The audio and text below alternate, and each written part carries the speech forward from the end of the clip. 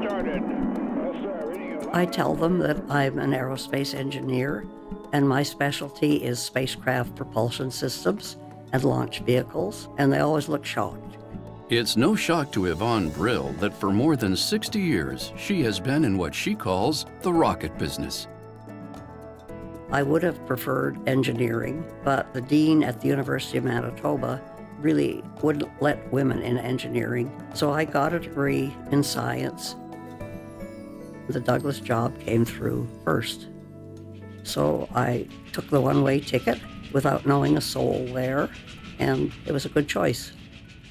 Once in California, Brill was charged with finding a lightweight rocket fuel to launch unmanned satellites as part of Project RAND. But very shortly afterwards, uh, the Berlin Wall and the Cold War with Russia started. So the focus then turned to missiles. Next, Brill worked on ramjet igniters. Then, her decision to marry would shape her life and her career. All of his opportunities were on the East Coast, and all of mine were on the West Coast. But in thinking about it, my decision was that good jobs are easier to find than good husbands. So I married him and moved east. In the 60s, Brill evaluated propulsion systems for theoretical communication satellites. She concluded that this type of satellite would need rocket engines with two thrust levels, one to get to the desired orbit and one to maintain position.